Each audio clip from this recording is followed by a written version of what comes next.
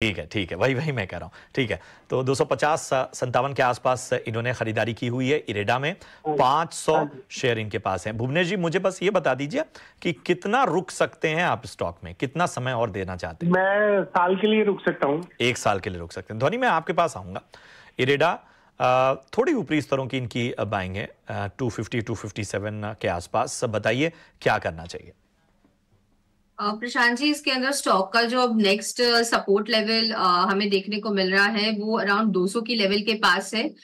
इसके अंदर हाल फ़िलहाल में ही एक तेज़ी देखने को मिली थी बट उसके बाद स्टॉक ने अपना जो मोमेंटम है वो खो दिया है और उसके, और रिसेंटली ही स्टॉक ने अपनी जो अहम मूविंग एवरेजेस भी होती है उसके नीचे क्लोज कर कर दिया है। तो यहाँ पे बेरिशनेस जो है वो फर्दर प्रॉफिट टेकिंग इसके अंदर देखने को मिलेगी जहाँ पे नेक्स्ट सपोर्ट 200 के पास बनता है। तो मेरी अभी फ़िलहाल के लिए एग्जिट की सलाह रहेगी क्योंकि अ, कोई भी एक रिस्पाइट इसके अंदर देखने को नहीं मिल रहा है। और अगर पोजिशन होल्ड करेंगे तो फर्दर नुकसान जो है इनका वो बढ़ सकता है।